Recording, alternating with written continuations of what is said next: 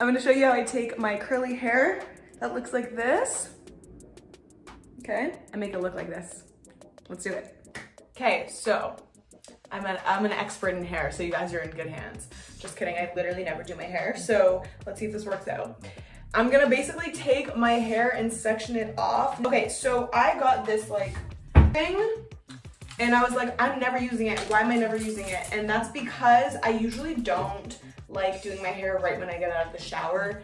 Usually I will take a shower at night and then go straight to bed and I'm like not in the mood to do my hair at 11 o'clock at night, you know what I mean? So I found a way to make my hair get that like perfect blowout look um, from dry hair. I will take my, I'll take my uh, like heat protectant and use that to make it wet. And then I go in.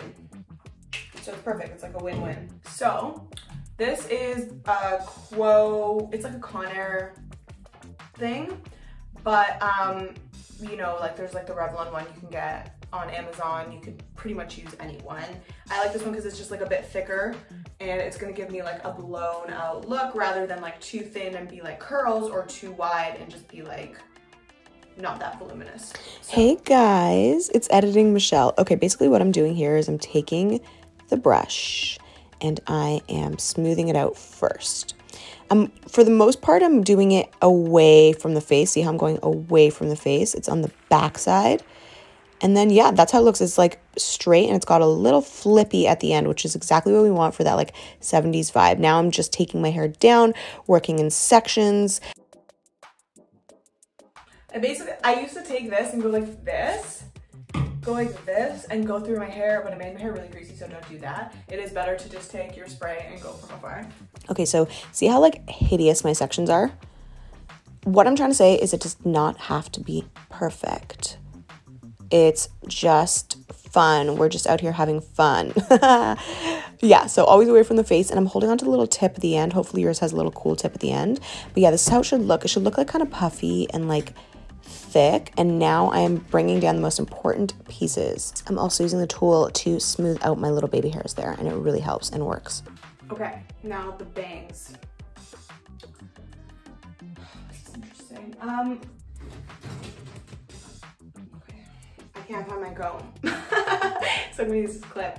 Basically, I'm just gonna go like this and find the bang. Well, they're not really bangs. Well, they're curtain bangs, but I'm gonna find my part. So what we're gonna do is we're gonna take them and push them to the left, then push them to the right, then push them up. Watch and learn. Okay, here we go. Left, right. Then I do it again. Watch, watch, watch, watch. Left, right. You see how sloppy I'm being? It doesn't have to be perfect, guys. Trust me, it'll turn out. And then under, under, under, under.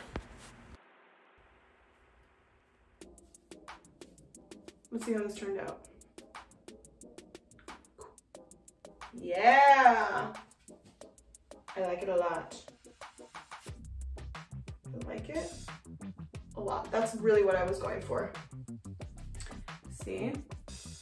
Cute, no? Mm -hmm.